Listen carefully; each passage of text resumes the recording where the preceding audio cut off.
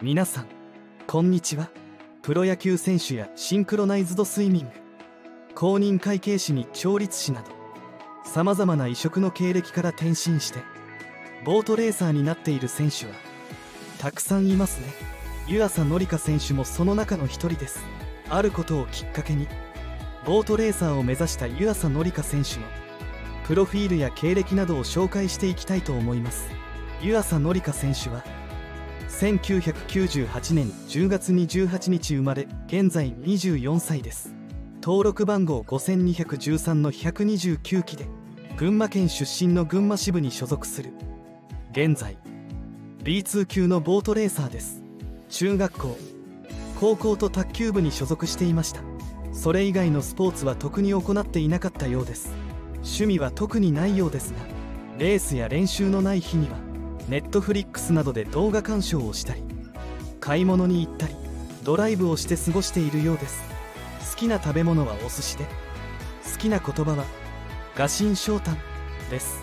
湯浅紀香選手の父親は現役オートレーサーの湯浅博選手です。父親が走る姿を小さい頃から見てきた湯浅紀香選手でしたが湯浅博選手は娘が同じ道に進むことに賛成ではなかったらしくオートレーサーになるという選択肢は初めからなかったようです。湯浅博選手からはプロの世界は甘くないぞと言われレーサーの心構えを教えてもらっているようです。そんな湯浅紀香選手は20歳の時に母親とボートレース桐生へレース観戦に行きその時に開催されていた男女混合レースを見て女子選手が男子選手を相手に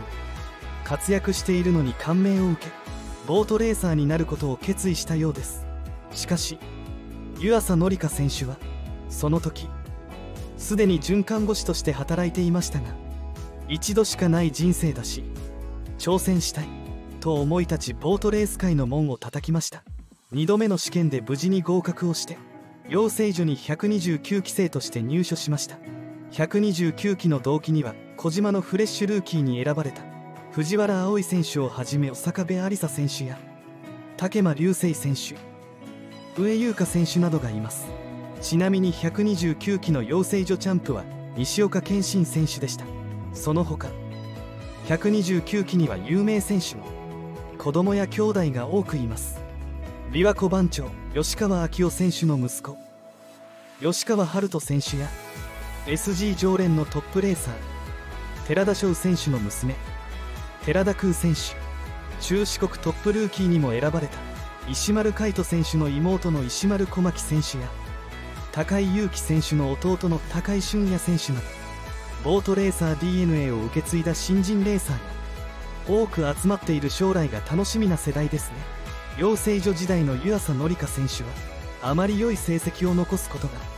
できないまま養成所を卒業しました。2021年12月14日。ボートレース多摩川の一般戦。4市組合設立54周年記念 BTS 市原カップ。の1レース目に湯浅紀香選手は初出走しました。地元ボートレース桐生で。デビューする予定でしたが不整脈が出てしまい欠場したため初出走がボートレース多摩川になったようです。初出走の結果は6コースから。スタートタイミングは0.33と。遅めのスタートで結果は6着でした。初出走でプロの洗礼を受けた湯浅紀香選手でしたがその後は少しずつ上位着順に入ることが増えてきました。しかし1着を取ることができず湯浅紀香選手本人も先輩方との実力の差を感じます。全然レースに参加できていないとプロの世界の厳しさを痛感していました。そんな初出走から約1年後の2022年12月29日ボートレース福岡の一般戦。歳末特選福岡観光コンベンションビューロー杯の7レース目に4コースから出走した湯浅紀香選手は0.20と速いスタートではなかったものの豪快なまくりを決め記念すべき初1着になりました。まずは水神祭をすることです。ゆくゆくは A 級に上がって記念に乗れるようなレーサーになっていきたいと思っています。と過去に語っていた湯浅紀香選手の目標が一つ達成された瞬間でした。そんな湯浅紀香選手の師匠は104期の石岡翔太選手です。湯浅紀香選手曰く石岡翔太選手はとても優しくいつでもポジティブな師匠のようです。レースやプロペラに関してのアドバイスプライベートでもプロペラの叩き方を指導しているようです。そんな石岡翔太選手からはターンスピードがまだ足りない。とよく言われるようで湯浅紀香選手本人もスピードに乗ったターンができるようになりたいですと語っていました。また湯浅紀香選手は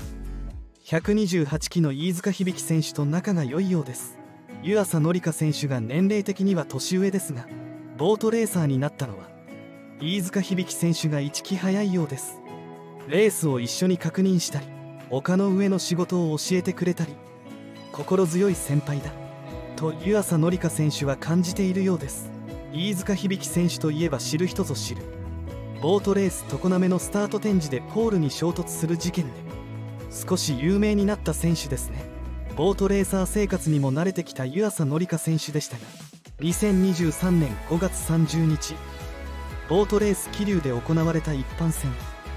第45回デイリースポーツ杯の1レース目で養成所卒業以降初めて1コースで出走しました。その時のメンバーは1号艇は湯浅紀香選手。2号艇は乳母義経選手。3号艇は栗原直也選手。4号艇は赤池周平選手。5号艇は塚越海人選手。6号艇は河内ゆりやん選手。というメンバーで行われました。初の1コースでしたが比較的人気だった湯浅紀香選手は緊張のせいかかなり早いタイミングでボートを起こしてしまい0.11のボートレース人生。初フライングを切ってしまいました。0.05以上のスタートとなるので非常識なフライングと判断されました。過去に湯浅紀香選手は上ごとに水面の特徴が違いすぎるのでそこに対応するのが難しいです。もっとたくさん走らなければいけないです。と語っていましたので初めての1コースで慣れない感覚に適応できなかったため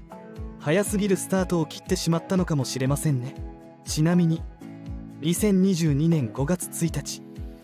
一般財団法人日本モーターボート競争会は非常識なフライングを起こした選手に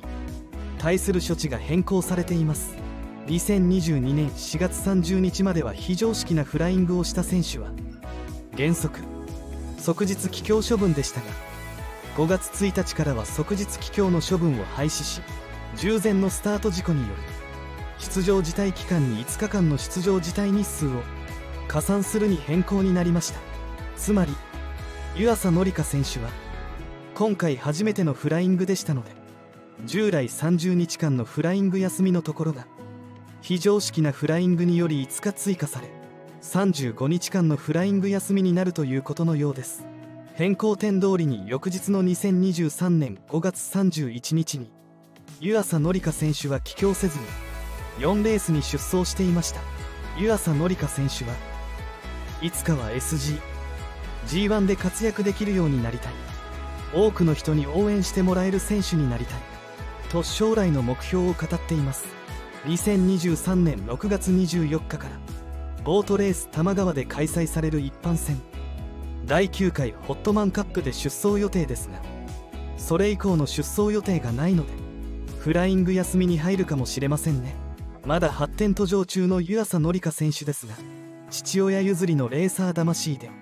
勝利を積み重ねていってほしいですね。これからも湯浅紀香選手の活躍を期待しています。コメントを残してくれると嬉しいです。チャンネル登録高評価もぜひお願いいたします。それではまた。